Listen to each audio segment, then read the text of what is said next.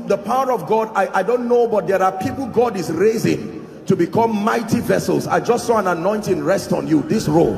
In the name of Jesus, I don't know where you are, but I pray may that grace now, let it rest upon you and shift you to a new dimension. In the name of Jesus Christ. Welcome to Christocentric Message. On this channel, you are going to get soul-lifting messages, faith-based content, prayer drills, and videos that would help you grow spiritually. Remember to subscribe to the channel, like the video you are about to watch, and comment on it. Stay blessed. So many believers want to experience the reality of the presence, the glory, the grace, the power of God. So many preachers, so many individuals, even cities and territories. We have read through scripture and we have seen through modern history that men and women seem to have carried very superior dimensions of God's presence. And with the reality of that presence, many of them operated like gods literally upon the earth in signs and wonders, unusual manifestations of God's power and grace. God walking, dwelling, living in men. The history of the church in Nigeria is full of all kinds and different levels of the moves of God. Men and women who walked upon this earth did mighty and terrible things because of dimensions of God that they carry. Just a few days ago, we had Yonggi Cho finally transited to join the cloud of witnesses. This was the man who was used mightily, marvelously, mightily. Just help those under the anointing. See, so there is, please look up, there is a way an individual, there is a possibility that the reality of the presence, the power, the grace of God, that new heaven and new earth can happen in a man today. That God, the reality of the full import of God's presence and power can dwell bodily in a man. Men can carry God. And that's the reason why I told you that we're going to look at all of this because there is a dimension of God that comes through the administration of Zoe, eternal life. But it does not stop there because every believer through the ministry of the Holy Spirit has that indwelling presence. But there are dimensions. This is what Ezekiel 30, 47 was teaching us. That just because water is flowing does not mean it's enough to create that effect. There are different levels. It is still the same river flowing from the same location.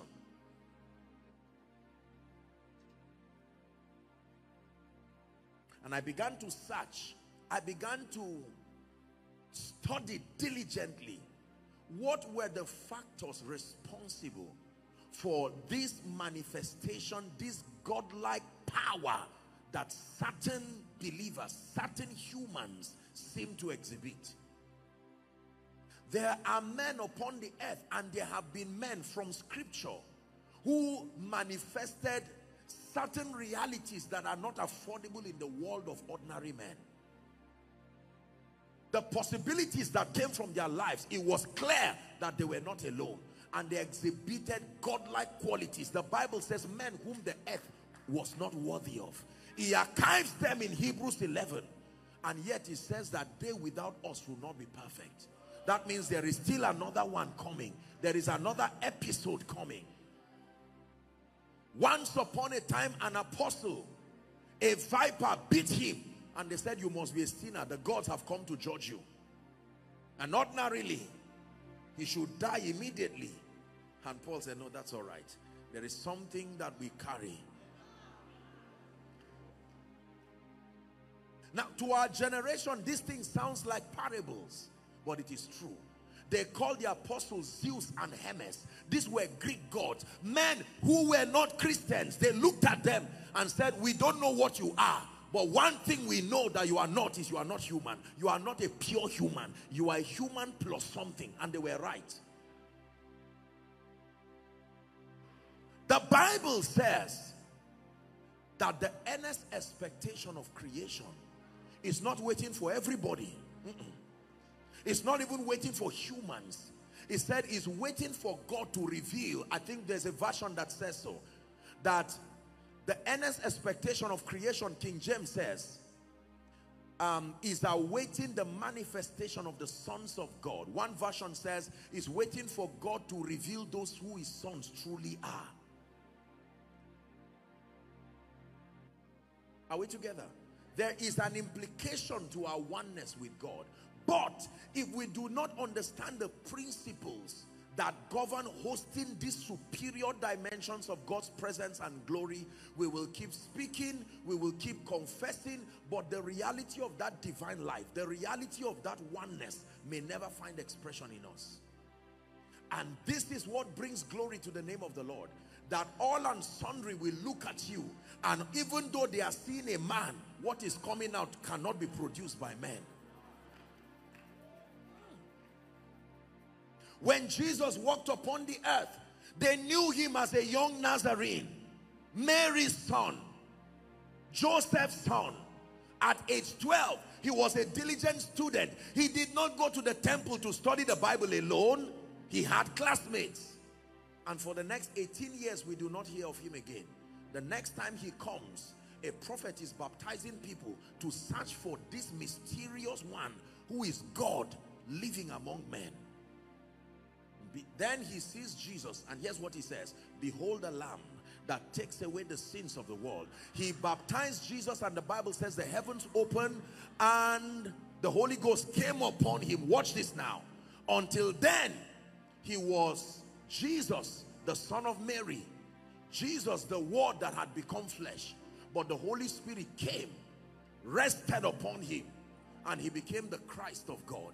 And from that time, he was led of the wilderness to be tempted of the devil in Matthew chapter 4. And then the Bible says he returned in the power of the Spirit. And they did not see the Nazarene ever again.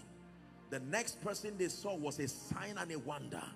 One level of godlike manifestations. The only person they could relate to the results of Jesus was God. The God that their fathers told them about. He went and he saw a woman who was oppressed with fever, Peter's mother-in-law, and he merely picked her and said, look, go and cook for us. As simple as that. Mighty manifestations of power. Five loaves, two fish. He gave thanks. He said, don't worry, heaven is here. Go ahead and share it. Water that he turned to wine. We sing about it, but if it happens here now, we are going to run away. Is that true? How about the widow at Nain, going to bury her son. You see the kind of wicked spirit that was oppressing that woman? All the men in her life were dying. Her husband dead, her only son dead. She was on his way to bury him and Jesus said, no, not so. Come. What is going on here? And he merely picks the boy. My God, the resurrection and the life. If Jesus came to your house, you would just begin to rejoice. You didn't have to tell him your issues. If Jesus stepped into your house, what a joy. And here's what he said, as my father sent me with the same equipping, with the same assignment, even so, send are you. And today we have about 2.6 billion professing Christians on earth. And the earth still looks like the devil is in control.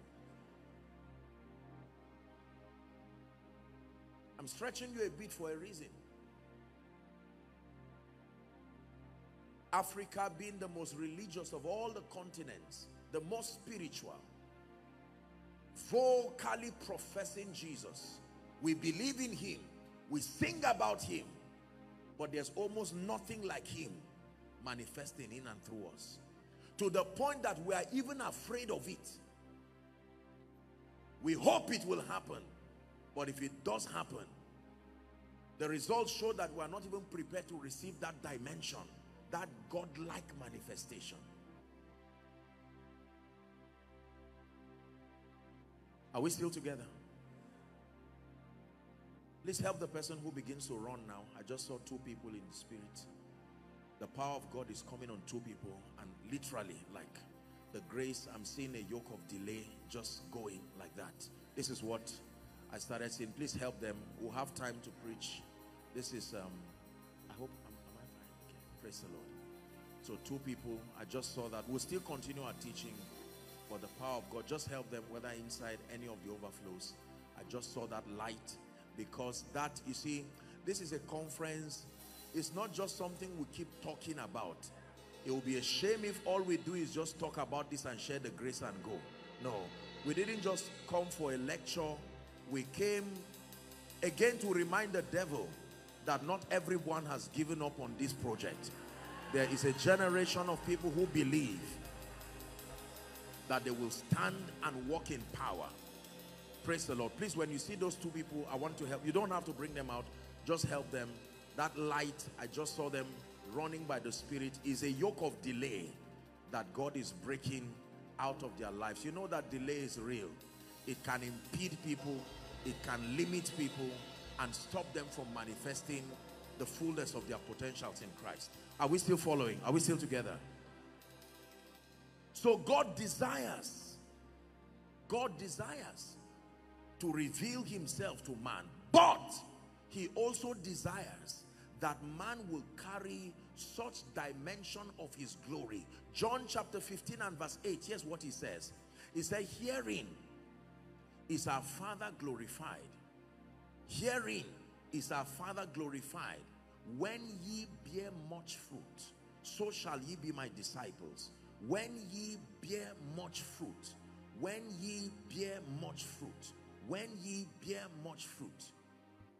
I'm seeing a lady, I hope, I hope I'm not, I pray that I don't get interrupted, but I'm seeing a lady, there's such power of the Holy Spirit coming upon her. She's been preparing her heart and God has told you you are entering a new season and that that season you're going to begin to experience the glory of God in a very, very remarkable and unique dimension. This is what the Lord is asking me to tell you. The Lord is saying a season is changing for you. Changing for you. And you are going to begin to carry levels of the power of the Holy Spirit. There are things you could not do before.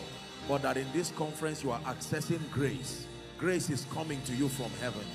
This word is for a lady. I'm saying, of course, when God speaks to one, he speaks to all. In the name of Jesus Christ, who is the Son of the living God.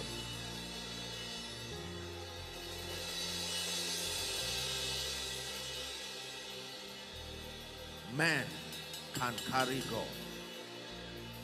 Man can carry God. Man can carry God. Man can carry God.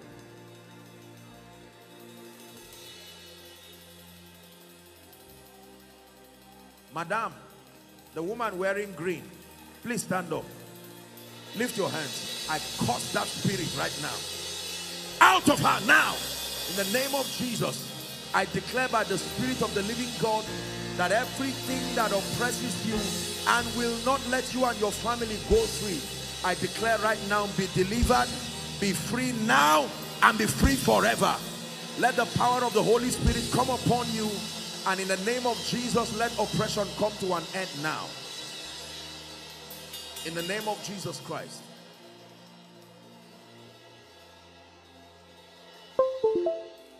Men can carry God. I really believe that one of the things that God is doing in this conference is just activating. I, I sense that this church has been through a season of hunger and preparation. You can see that there is there are hearts that are already very, very open and prepared.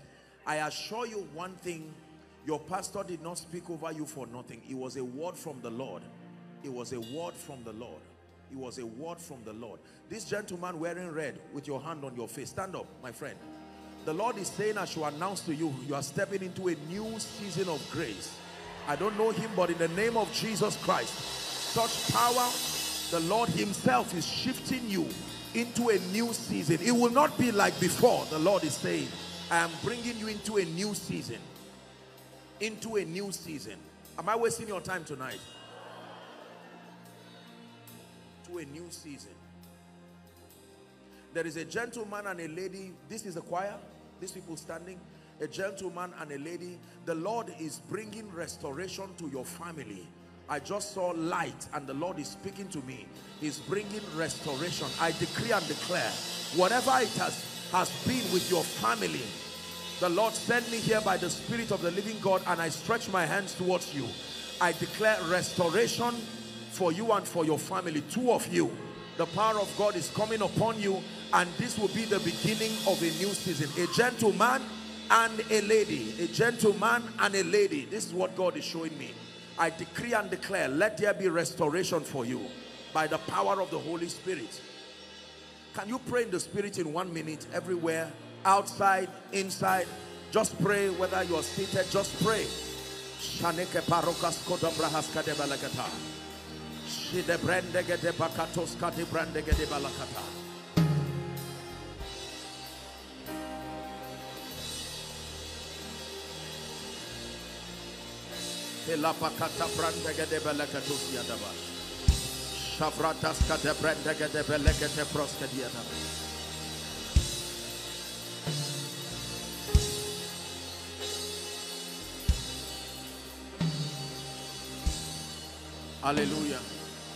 Praise the Lord. Praise the Lord. Please sit down. We'll continue our teaching. I just saw light coming on a man. You are a pastor. I don't know where that man is, but I just saw light coming on him. Please let me just, it's, it's not good to disobey the Holy Spirit in a meeting like this. Kalis Kadiba. Just be sensitive. I tell you, there is such glory. This is, listen, one of the things that you'll be learning in this conference is that men can carry their climate everywhere. You can, you can stay with God and carry your spiritual climate.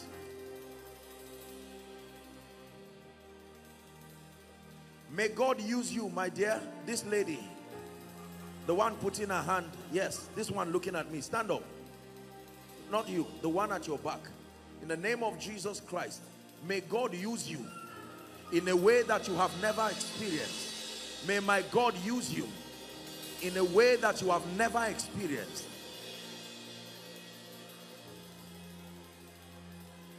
May God use you.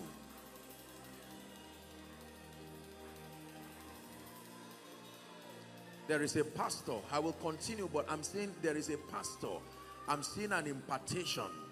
You came here, there is, um, you know, just that strong impartation. People have come here with hunger, genuine hunger, genuine hunger of the spirit. The power of God is coming on that man. Don't know where you are, you are a man of God, but such glory. Your ministry is about to shift in the name of Jesus. It's going to be a new season for your ministry. You will see signs and wonders in a way that you will marvel and wonder. Is he a pastor? This man? Is that man a pastor? In this church? Where are you coming from, sir? I don't have a church, but I worship here. Okay, you worship here, but you're a pastor. You believe in the healing anointing?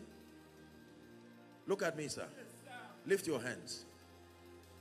Even as God has revealed to me, I pray for you. Look at me. May that grace come upon you. Take that fire. Right now, I stretch my hands. That glory is coming upon you. I'm seeing oil coming on your head. Take that fire. Let it shift you to a new level.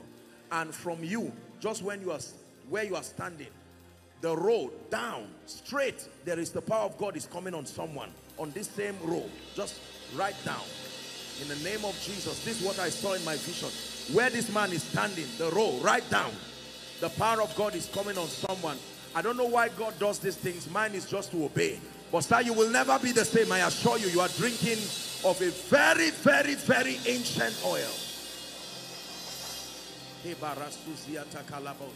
just this road down the power of God is touching someone.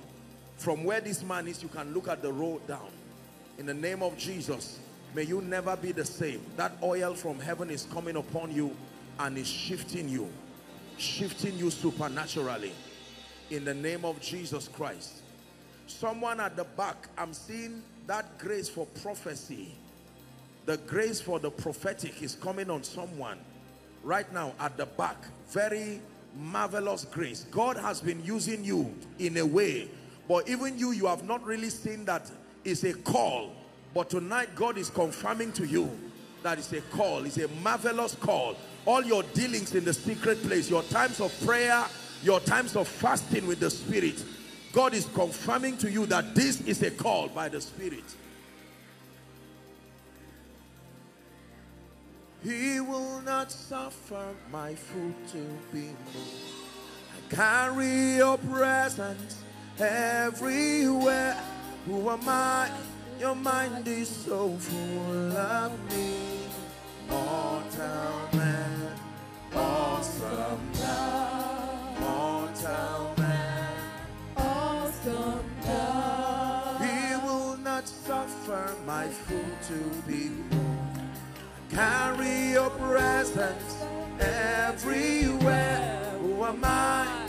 Your mind is so full of me. Mortal Please sit down. Please sit down. So we have established the fact that God seeks for that union. He seeks to tabernacle with man.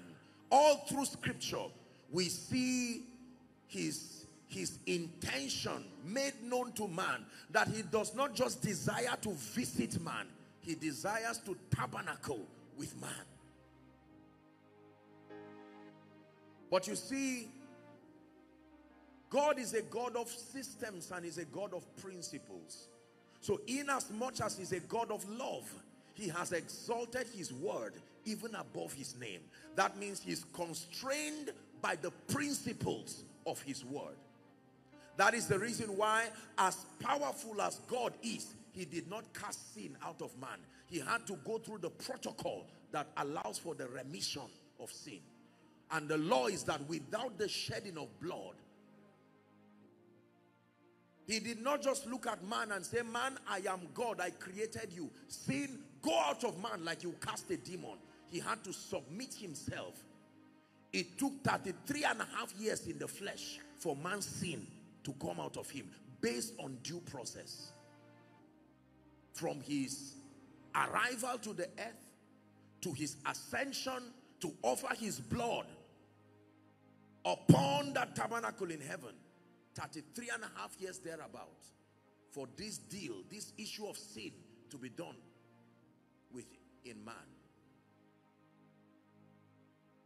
So God is a God of principles. He will not violate his principles. And I want to share with you just for tonight very briefly just one key that can help a man to host very superior dimensions of God and will pray. I call it the desire of David. Second Chronicles, please, chapter 6. Second Chronicles, chapter 6. Our verse of emphasis will be verse 7. Second Chronicles, chapter 6. Please give it to us so that we'll hurry up. Now, this is Solomon. In fact, let's start from verse 1. This is Solomon about to dedicate the temple in Jerusalem. I'll back up a bit and give you a little context. Then said Solomon, the Lord had said that he would dwell in the thick darkness. We're reading down to verse 7. But I have built an house of habitation for thee and a place for thy dwelling. How long? Forever. The key word, I have built. I have built. It did not just appear. I have built a house of habitation for thee. My intention is that it will be a place for your presence to dwell forever. Next verse. The king turned his face and blessed the whole congregation of Israel. And all the congregation of Israel stood. Verse 4. He said, Blessed be the Lord God of Israel, who hath with his hands fulfilled that which he spake unto his mouth to my father David, saying, Since the day that I brought forth my people out of the land of Egypt, I chose no city among the tribes of Israel to build an house in, that my name might be there forever. Neither chose I any man to be a ruler over my people Israel. Verse 6. But I have chosen Jerusalem, that my name might be there, and have chosen David to be over my people Israel. Verse 7. Now, it was in the heart of David, my father, to build a house for the name of the Lord God of Israel. And the Bible says that in doing so, it was a good thing. Are we together? Now let's go and see what happened with David. This is Solomon the son. Having built the temple, he's dedicating it now to the Lord. And he makes reference to the motivation that led to that construction. Are we together? Let's go to second Second Samuel 7. Second Samuel 7. Let's start from verse 1. The first instruction is from verse 1. It came to pass when the king sat in his house, who is the king? King David. And the Lord had given him rest round about from all his enemies. Now, please look up.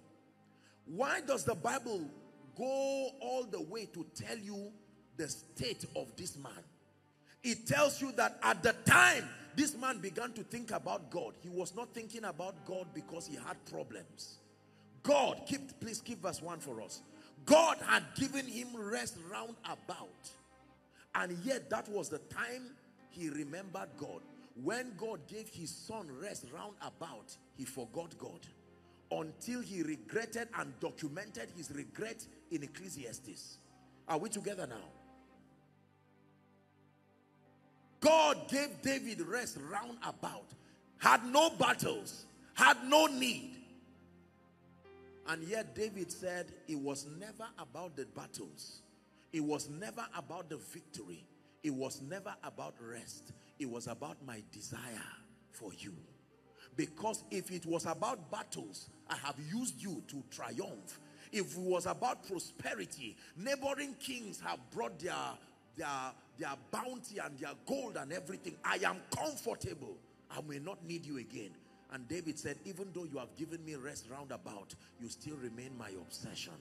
Next verse. Verse 2. Be patient with the reading. We'll continue now.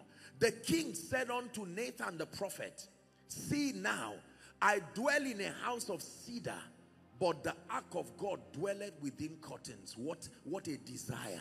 He's saying, look, as I'm sitting down right now, I'm not thinking about my throne. I'm not thinking about succession. Why would I sit down in this beautiful palace? And I know that the ark of God, the same ark that brought me victory, the ark that was a representation of the presence of God, is still kept somewhere with curtains.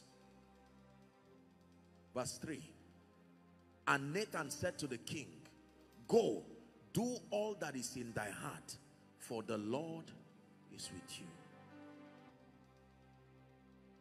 There is something in your heart, even as a successful man. You are concerned about the fact that um, that desire and that longing in your heart, the longing that was there whilst you were a shepherd, even in the midst of all the achievements now, what else do you need? You are king. Enemies have been defeated. Your kingdom is experiencing peace. But David said, I still have a desire. There is a desire in my heart. My desire was never fame. My desire was never just to use God and find rest. I have found the rest. And yet, Lord, you had rest in heaven too, roundabout. And yet your heart was on me. Now you have given me rest. My heart is still on you. Desire. Pay attention. Next verse. Are we still following? Verse 4. It came to pass that night that the word of the Lord came to Nathan saying, Go and tell my servant David, thus saith the Lord, Shall thou build a house for me to dwell in? That means God was watching from heaven the contemplation of a man's heart. And he was saying, God, I can't sleep. I'm a king. I have everything. But I need to be able to build you a place even in my lifetime. And God was revealing to a prophet and said, look, the desire of a man who loves me.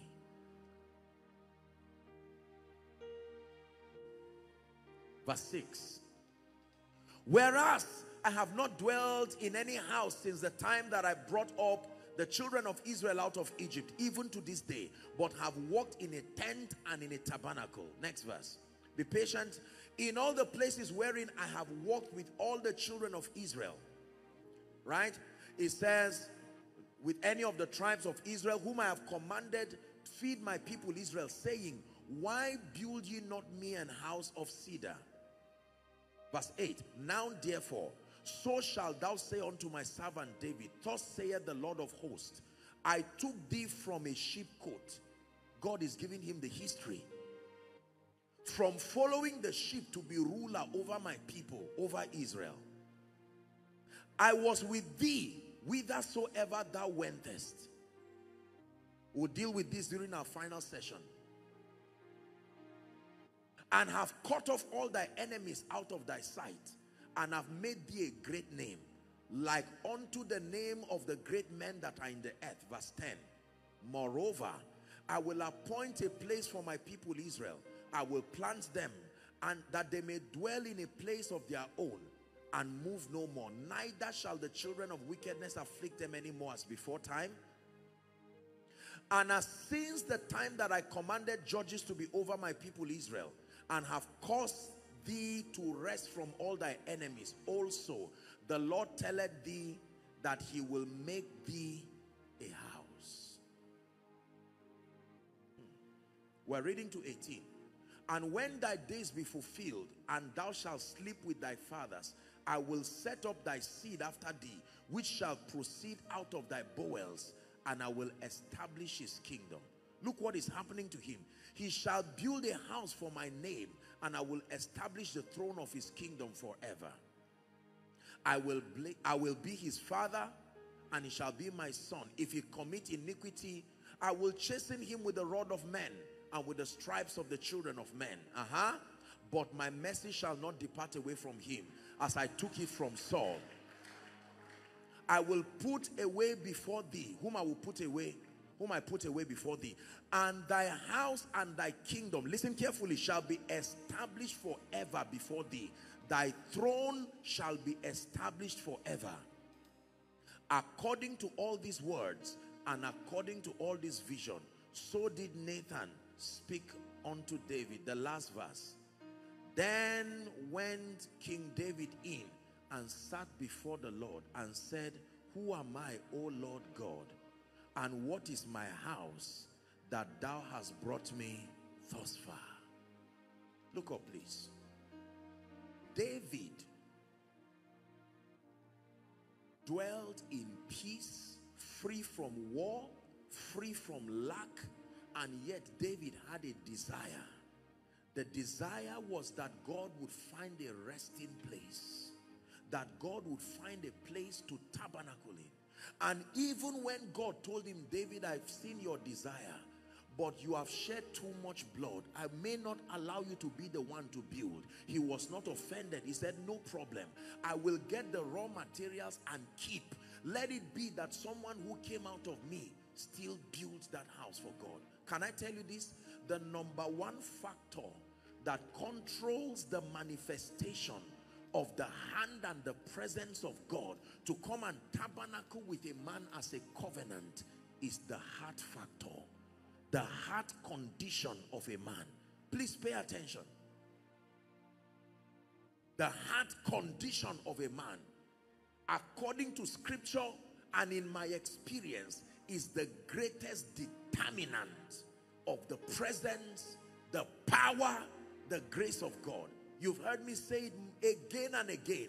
We have taught that the secret to power the secret to the glory of God is just prayer and fasting and that is wonderful. If your heart has been worked on.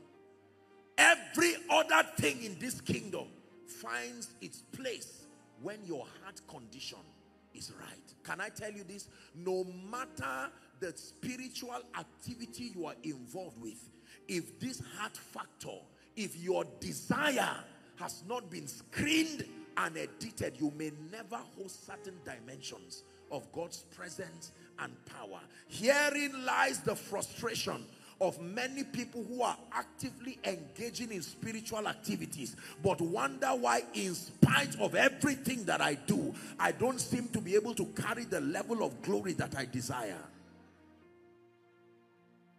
can I tell you this you don't know if you truly love God when you have needs you know if you truly love God when your needs are met that's why the Bible put that scripture there David had found rest do you know what happens to a human when he finds rest? I understand you need God because you need to build. I understand your children are still in school and you need school fees. But there is something about the state of a man's heart when he has no need again. David, tonight, our assignment is to obtain grace from God.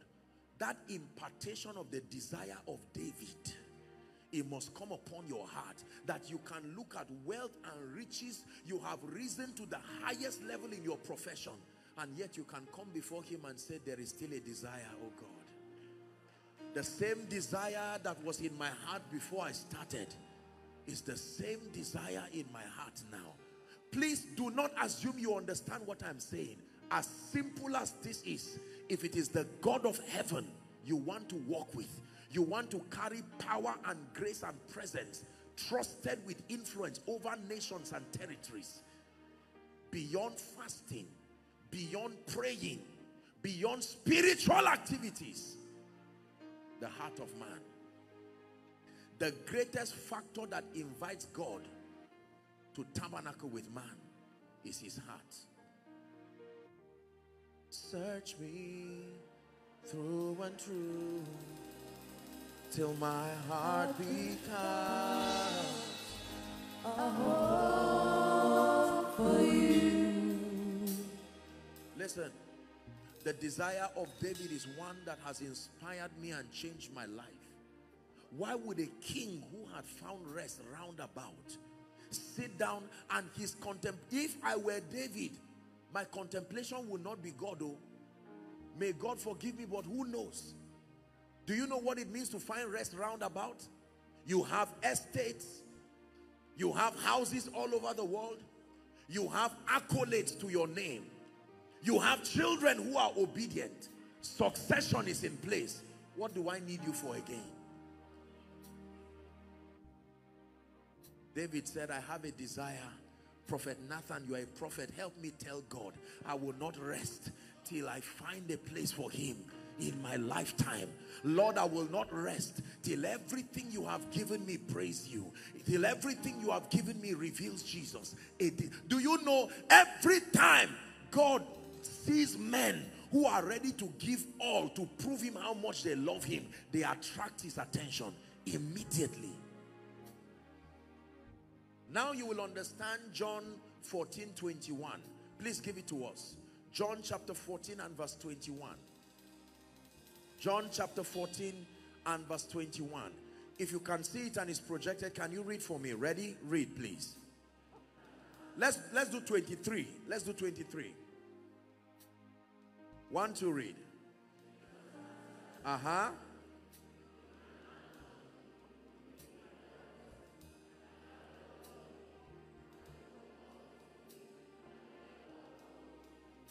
Love, love, love if a man loves me and keeps my word, my father will love him and we will come. We will come and make our abode in his ministry, in his family, in his life, in his destiny. You will become a walking, living ark carrying the presence of God everywhere you go. Then your life becomes a sign, your life becomes a wonder, first to you and then to everyone who cares to see. Can I tell you this? The secret behind the exploits of men, the secret behind the seeming greatness you see is that covenant. God has found hearts that in life and in death only live to glorify him. You may have heard my story. Many years ago, the Lord spoke to me and said, Son, if you will let men see me, there is nothing I will not give you.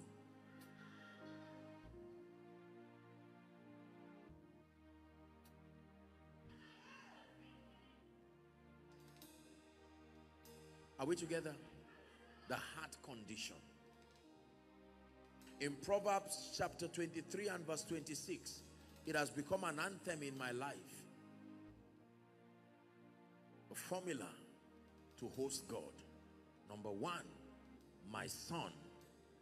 Proverbs 23, 26. It says, my son. What is he asking you to give him?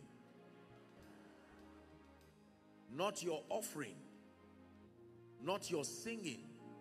Uh-uh. Leave that one first. Not your prophetic acumen. Not your ministry. You can give God every other thing. But if your heart is not part of it, you've not given him anything. The tray that carries every other gift you carry is your heart. Imagine that you want to give a president something or a governor or something and maybe water and you just pick it and throw it at him. That's not a gift. The tray that carries everything and makes everything you present before God honorable is your heart. Are we together now? We're going to pray. Mark 14. A very instructive story. Mark chapter 14. We'll start our reading from verse 1, please. The Bible says, after two days was the feast of the Passover and of unleavened bread. And then all of this happened. The, the chief priests, they sought to put him to death. Verse 2. Mark chapter 14. Okay, next verse. I hope that's I hope I got that right. Yes. Verse 3. Watch this. The Bible says, and being in Bethany, please look up. In the house of Simon the leper, he sat to eat, and a woman came. The Bible says that she had an alabaster box. Everybody, please look up. An alabaster box of ointment of spikenard then the Bible says it was very precious. And the Bible says she broke the box. Another synoptic account will tell you it was worth one year's wages. A salary of one year. Broke the box and poured it on his head. And to the point that some had an indignation within themselves and they said, why was this a waste that means every time you see this desire, you will be tempted to think it's a waste of time, a waste of life. They called an expression of hunger and desire a waste. What is this God thing that you are acting as if you didn't go to school? What is this God thing you are acting as if you are a failure? You already have results. Man of God, God has established you in ministry. What is this passion and rolling on the ground before God again? Remember the joy that was in the heart of David when the ark was being restored. He was dancing and dancing and Saul's daughter looked at him and said, shame on you. There are ethics to royalty. You are violating the ethics of royalty. He said, I am dancing before God who took the kingdom from your father and gave to me. God had her and she died barren.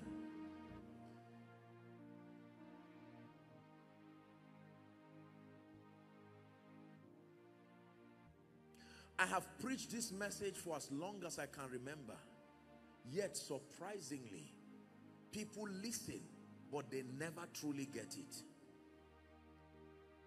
That the real secret to power with God to grace from on high more than spiritual activities is when a man gets to a point where you have the desire of David.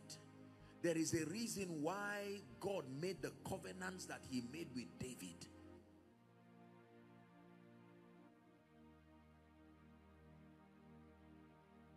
The heart factor vetting your heart to find out do you still have a desire to see him lifted, to see him glorified, to see him revealed? Do you have a desire for his presence? Most people want power. Most people want miracles. Most people want fame. Hello? Don't, don't feel insulted. Most people, I keep saying it again and again. Most people, imagine with me, please, um, one of these protocol, please come. Come, sir. Let me use you. Look at this fine gentleman standing here. Imagine with me for a moment that this man comes to me. He's been calling me from morning till evening. Apostle, I want to see you. And I tell him I'm busy. And he says, please, I have to see you. It's a matter of life and death. And then as soon as he comes to me, he's not looking at me. All he wants is my shoe. All that call for my shoe. I want to snap your shoe so I look for the kind. I want to snap your watch. And I'm standing in shock, wondering. You did not sleep all through the night calling me. Now that you have my attention, what are you looking at? I say, look at me. And he says, no, no, it's not about your face. I was just calling you because I was told that there is a material that you wear that is beautiful.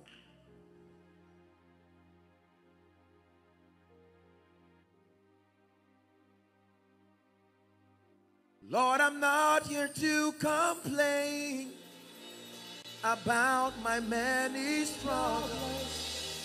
For by your spirit and your grace, I'm confident you solve them.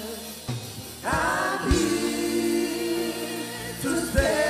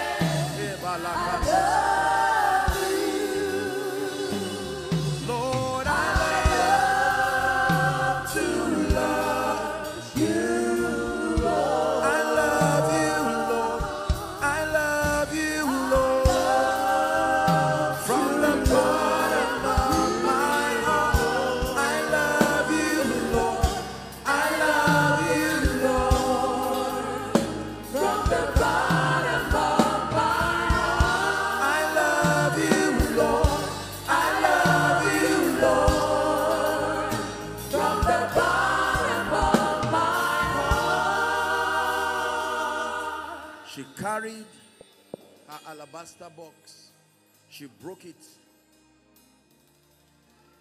I can waste it if it is before you. And he looked at her heart and said, everywhere the gospel is preached, even though this woman was not ordained into ministry, you cannot ignore her because she has communicated her love. Can I tell you something I know about God? There are certain dimensions in God that only genuine lovers, those whose hearts have been purged sincerely to love him, not for things. I know we are humans.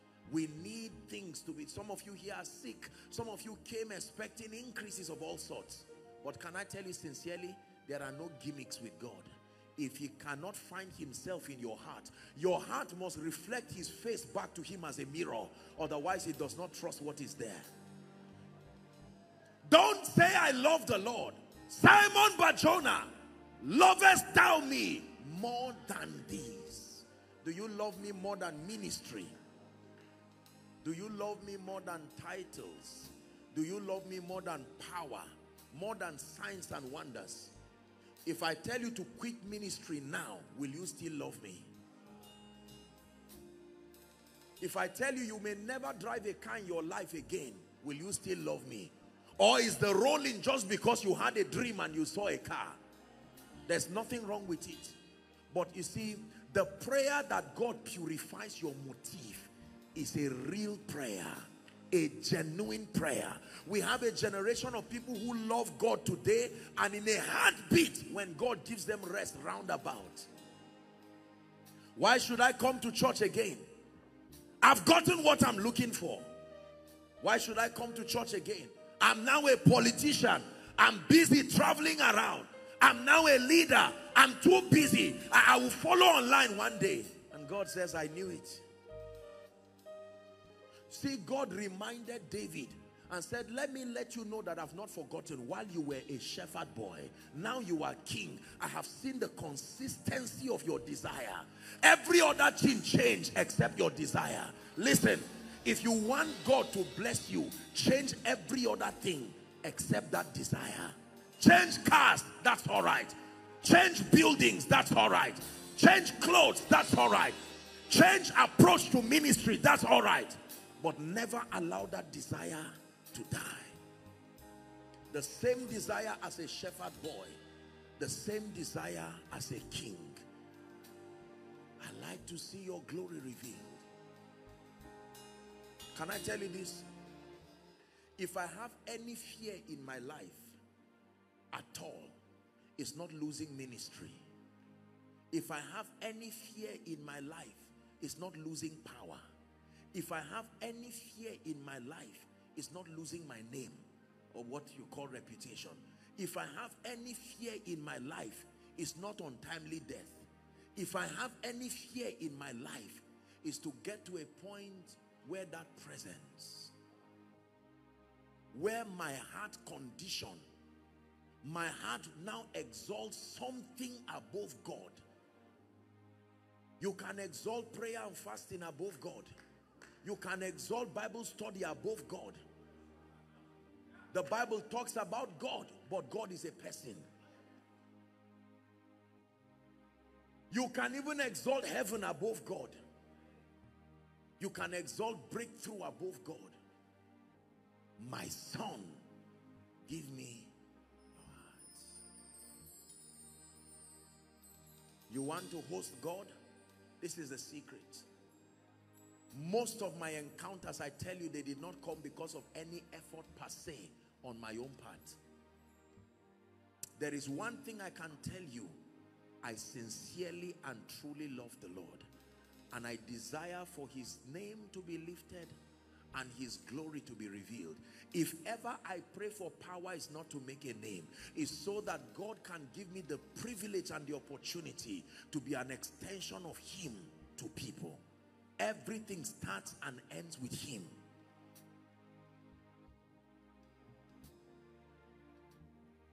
I love, I love, I love your presence. I love, I love, I love your presence. I love, I love, I love you, Jesus. Listen, if I can get you to a point this night where you are willing to lay down all of the things that make you look like you love God, but in truth, there is an agenda that is locked up. Lord, I am tired of delay. There are yokes in our family. So they say, if I fast, I get your power. Oh, yeah, let me fast. There's nothing wrong with that in itself. But if that is what leads you, he will tell you, okay, take, this is what you want. And most people will walk away from him.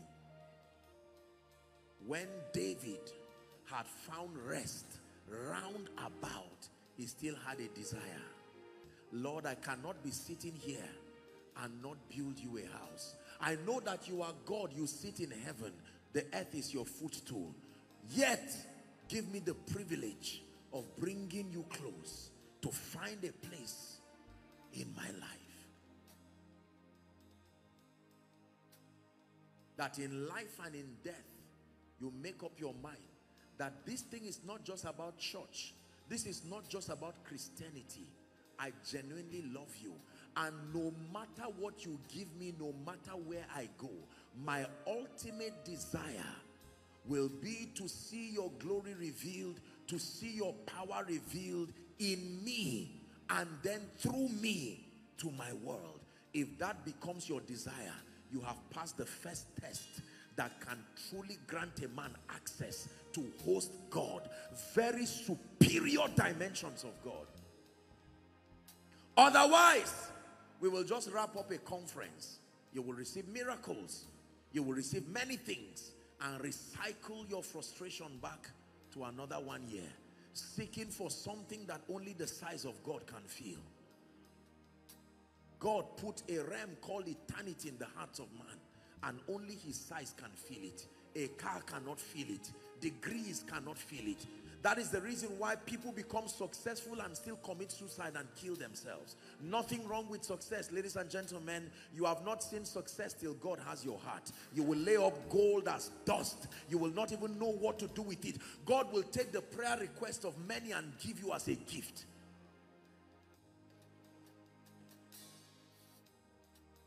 I made up my mind. It was a vow and a covenant with God. I said, Lord, if there is anything, whether ministry, power, if it has the ability to make me lose that presence, if it has the ability, I rather, I rather not be known in my lifetime. And yet my love and my passion for him, my desire to see him revealed remains unchanged. Heaven for me is him being with me. Heaven is not when I fly through the skies. No, if he's not there, I don't want. If he changes his location to hell, then may I never go to heaven again. It is not about the location, it's about the person. It's not about the throne, it's him who sits on the throne. If the throne is empty, what should I do there? I have no business with the throne. You have to understand this. If he's not in the church, may I never have anything to do with church. If he's not in ministry, may I have any not, never not have anything to do with ministry. If he's not in my prosperity, may I have nothing to do with it. He becomes the epicenter of my pursuit that I desire him more than life and he says, this is for me. Let's go to the next level. Can I be sincere with you? I apologize if I sound harsh, but many of us, I can tell you the reason why you are unable is not because the devil is so powerful. It's because there is, there is a corruption in the sincerity of our heart. This heart thing. You can fast for 40 days and from day one, the heart is already corrupted. You will enjoy the mercy of God. But I tell you, if it is heaven you want to host,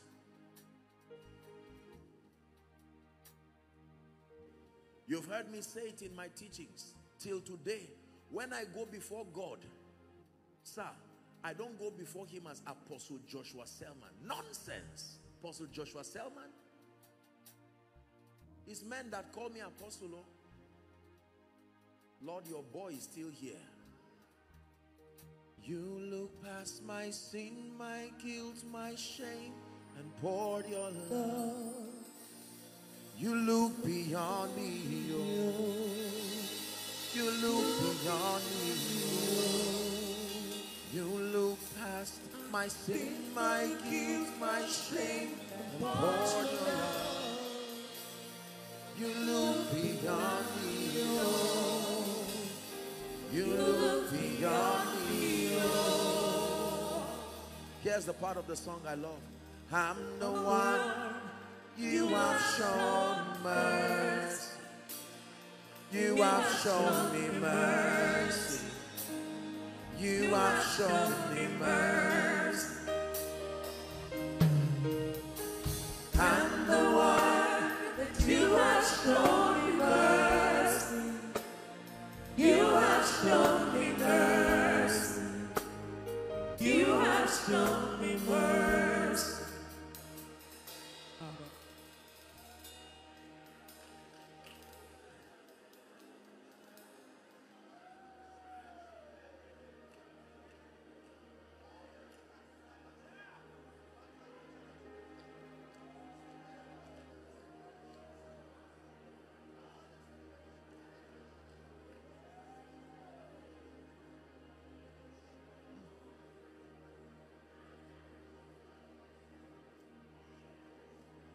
Want to host God, you must love Him. You must desire to see Him glorified. Not self, not ambition. Jesus revealed, Jesus glorified.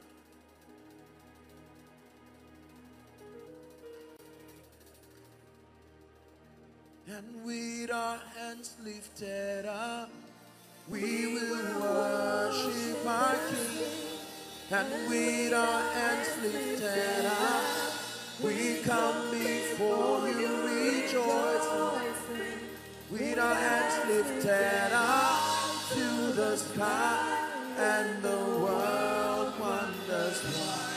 We just tell them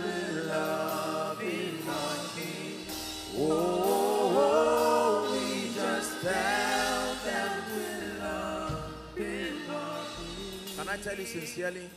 Please listen to me. I know some of you are crying. It's a very simple message tonight. I have had the honor and the privilege of meeting a few extremely great people, believers, whether in business, in government, in ministry. And most times when I sit down with them, sincerely by God, there is nothing in itself that is exceptional. You will look for the wow factor and not find it. All your eyes will see is the, the plethora of limitations, yet the results remain undeniable. The key is that when God comes, please anyone come. When your heart becomes genuinely right with God and he comes to hold you and say, let's go. Your life becomes a wonder. Please listen to me. You will be seeing a mountain and come close and not see it again because there is a hand that picks that mountain and men cannot see the hand so they think it's your hand that lifted it when God decides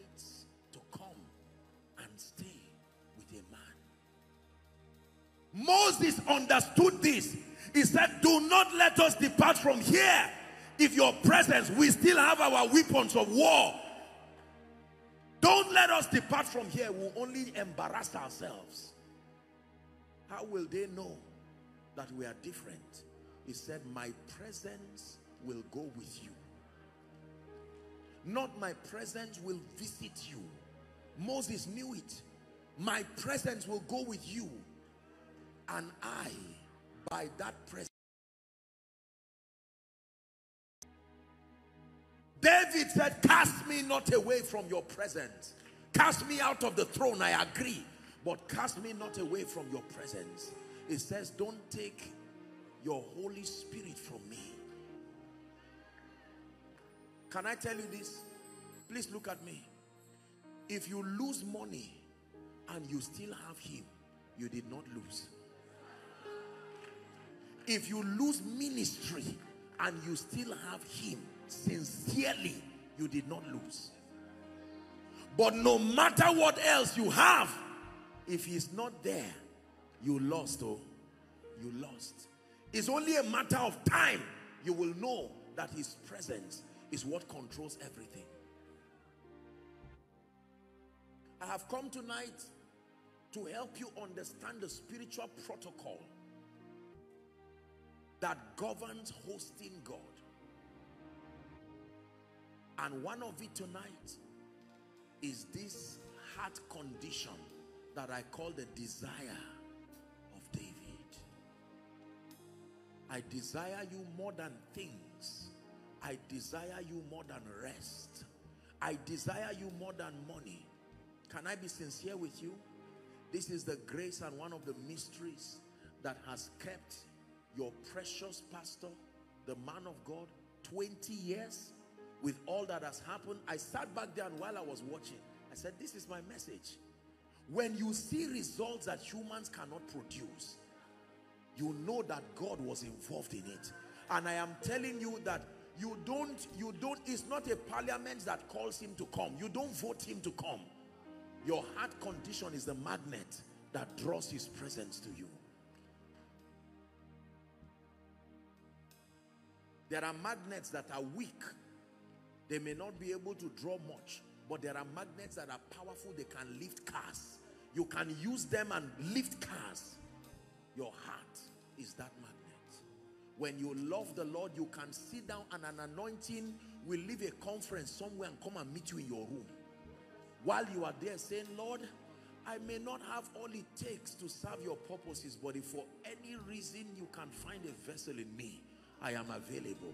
And that anointing will leave a conference and come and meet you in your room. Some of you are crying because God has been showing you this message in dreams. You have not been understanding it. God is saying, it's not that I cannot lift you. It's not that I cannot open a door for you, but your heart condition.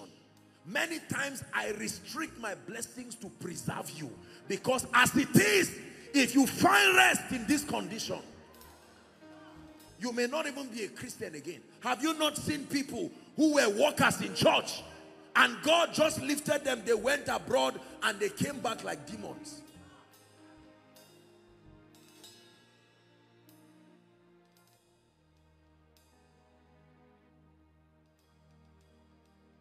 House on the Rock, Enugu.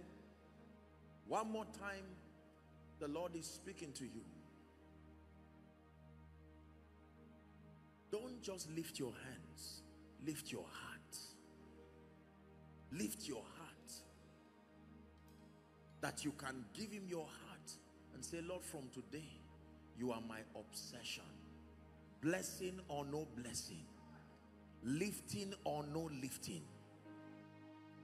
I will teach my children your ways.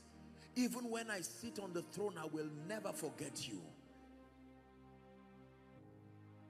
You have become my obsession. As simple and childlike as this is. And he comes to you in power and will invest levels of his presence upon your life that you will be surprised. You will watch doors open. Brothers and sisters, you will see God do things in your life that you will marvel and wonder. People will look at you and they cannot add up where the result is coming from.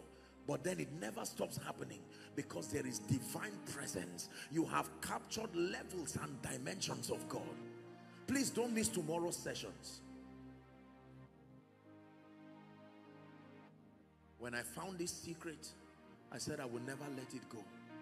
My heart, my heart, my heart, more than my prayer, more than my preaching, my heart, my heart, my heart.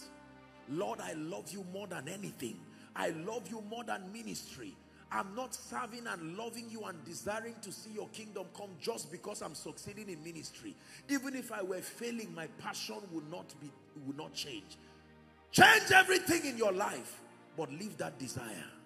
Leave it there. Leave it there. Don't replace it with things. Don't replace it with titles. Don't let age fade the desire away.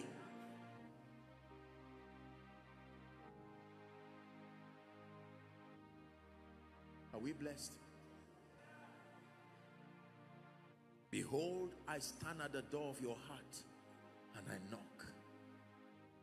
If you are interested, I stand at the door of your heart. That's the part I'm interested. I'm knocking. What is he doing at the door of your heart? If you choose, you can open the door and let me find space. But if you think your heart is full and you are too busy, I am patient, I can let you be. But you can open that door and I can come in and you shut that door and I will eat with you. He was talking to John. John the Revelator was archiving what he was telling the seven churches. Behold, he was not talking to seven unbelievers. He was talking to seven churches. I am still looking for your heart. It's not new birth. This is not giving your life to Jesus. He's talking about a deeper and a richer experience. Apostle, but I've been born again. That's not what I'm talking about. He's still standing at the door. We're going to spend 10 minutes praying. Please don't be distracted. And the prayer is a prayer of surrender. Lord, impart upon me the desire of David. The desire of David. The desire of David. The desire of David according to Psalm 27. Please give us Psalm 27 and verse 4 as we pray. All the overflows outside following online, we're about to pray. One thing have I desired. You have desired many things, but leave all those desires. One thing have I desired of the Lord, and that will I seek after, that I may dwell in the house of the Lord, and to behold you all the days of your life. Are you ready to pray? Please lift your voice, cry to the Lord.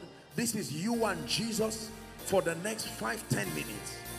You and Jesus, your maker, the one whose presence you want to see manifest in your life.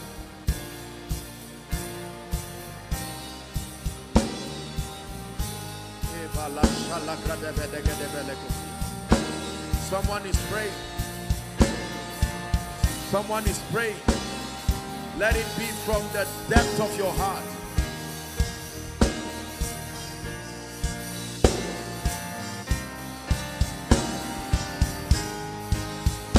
Let it be from the depth of your heart. House on the rock, Enugu. Enugu State. Pray for the desire of David. One thing have I desired.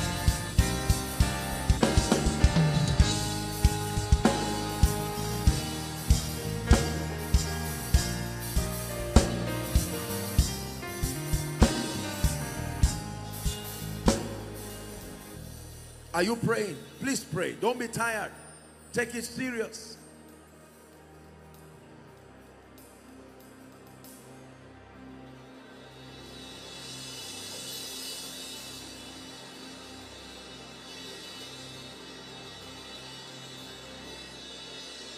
I desire you, I desire you, I desire you.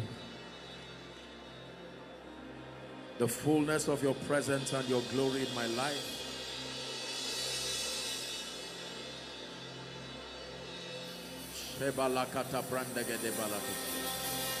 Someone is praying.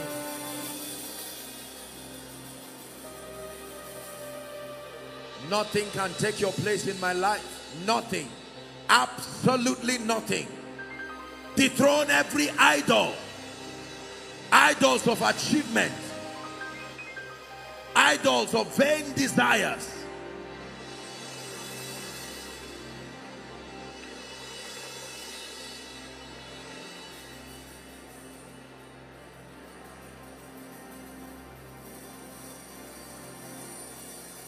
Hallelujah. Please look at me. There are people today who threaten pastors and men of God and tell them if God does not answer my prayer, I will stop being a worker in this church. If God does not answer my prayer, I've given God, I've been a worker for one year. Can I tell you the truth? Do not make the mistake of the workers in the parable that Jesus gave. The Bible talks about a parable of the owner of a vine and the workers. I just felt in my spirit to say this. There are many people whose Christianity is conditional. While it is true that there is the covenant of service, that when you serve the Lord, he will bless. But can I tell you this? You must love him more than that. I've been sweeping the house of God and nothing is changing. I'm going.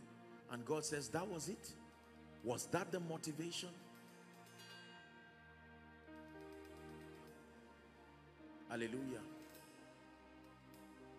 When your passion, your love, your drive, nothing can take that place. When you are alone with God, you remind yourself again He's the object of my obsession. Lord, you have helped me. You have shown me mercy. But regardless what happens to me, good or bad, one thing for sure is I may change every other thing, but not you. Not my love, not my passion. I will die loving you, die serving you, die living for you. These things, we are more than conquerors. on account of that love and that passion, that desire. Please purify your desire. Purify your motives. Why do you seek him? They sought him because they were hungry. As soon as he fed them with 5,000, with, with five loaves and two fish, all of them threw the excesses and went away. And he said, go and gather the crumbs. 12 baskets. They wasted it. We've used you and we've dumped you. We're on our way going. And he looked at the disciples. He said, will you also go? And they said, to whom shall we go? We didn't just come for, we, whom shall we go? You alone have the word of life. And he turned them eventually to apostles of the Lamb.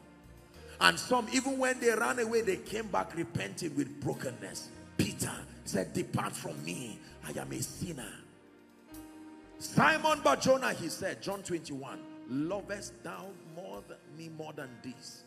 He said, yes, feed my lamb, then feed my sheep, then feed my sheep. If you will let men see me, there is nothing I will not give you. Can I tell you sincerely, I stand before the God of heaven. There is nothing in my life today that I cannot surrender to prove my love for Jesus, my passion for him. I love him more than that. And my assignment tonight is to impart upon you that desire of David. I don't know how God did it in my life, oh, but it's my prayer that what he did to me, let it happen for someone in this place this night in the name of Jesus that no amount of money, no amount of lifting will ever make God look like a nuisance in your life. That you will not just carry him like an extra luggage. That divine presence. You will love the presence of Jesus more than power, more than ministry. If that happens to you, then you will also get the blessing of David. Don't claim the blessing of David the blessing of David is dominion to find someone to establish his kingdom. Today when you look at Israel, the symbol of their flag is the star of David. Not the star of Abraham. No, the star of David.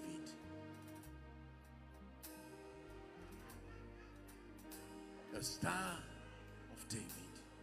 Listen to me. It was on the strength of this that I started having encounters. It was not just fasting and prayer. Many of the encounters I've had today that have changed my life, it was God coming to me. And it has not ended. Coming to me. My son, let me open this to you.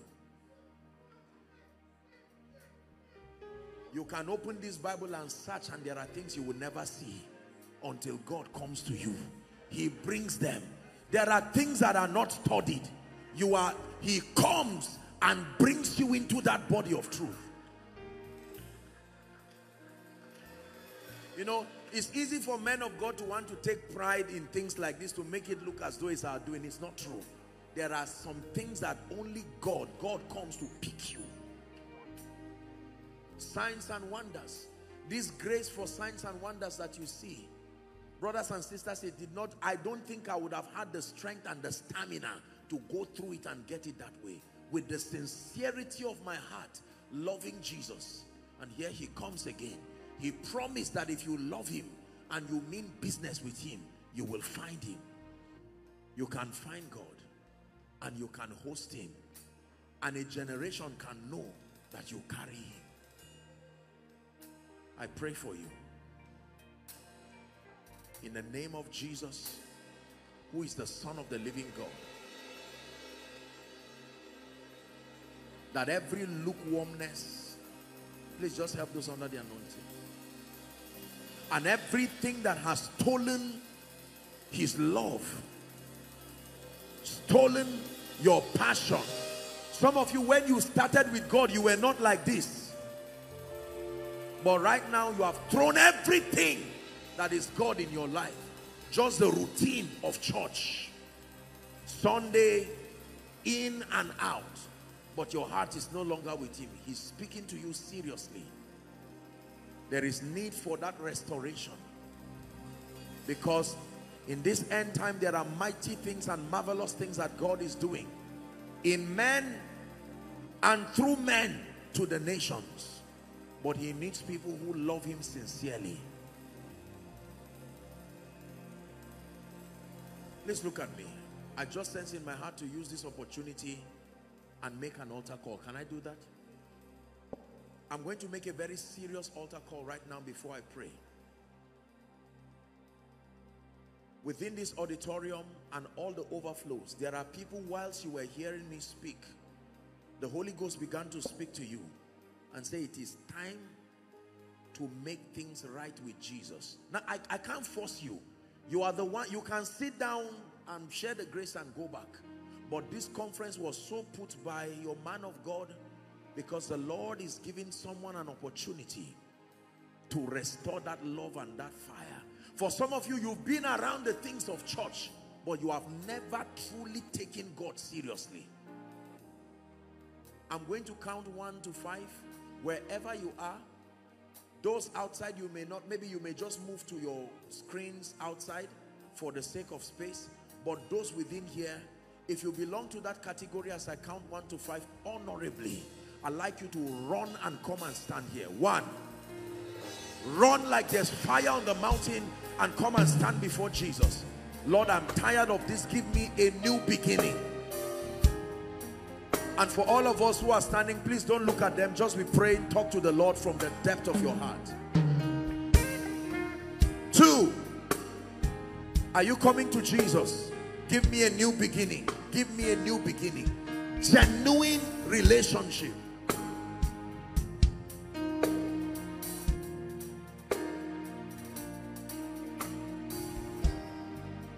Three, someone is running to Jesus. Don't be distracted. The few minutes that we have, don't waste it. These are moments of destiny. If there's no space, just stand at the aisles while we pray.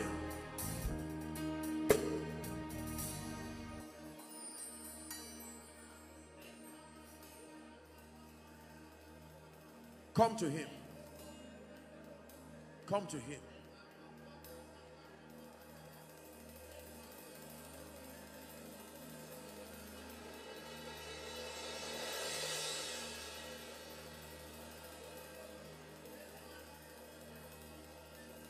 Four.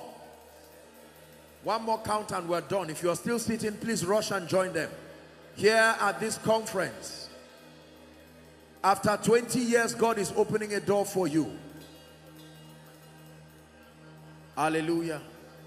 Now, in Jesus' name, please listen to me.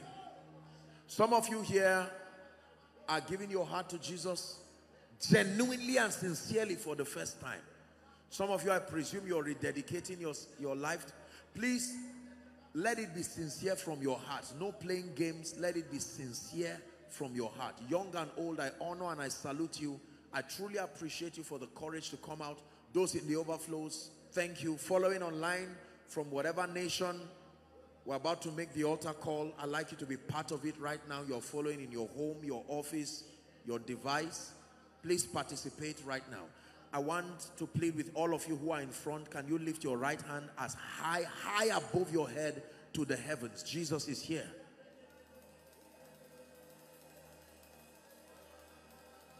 I'm about to lead you to pray a prayer and I want you to pray it sincerely. A miracle happens when we pray. A miracle happens when we pray. More so when we pray in faith. Please say after me loud and clear, inside, outside. Say, Lord Jesus, tonight I have heard your word. I need your life, your presence, your glory. I repent of my sin. I declare that I do not have the power to save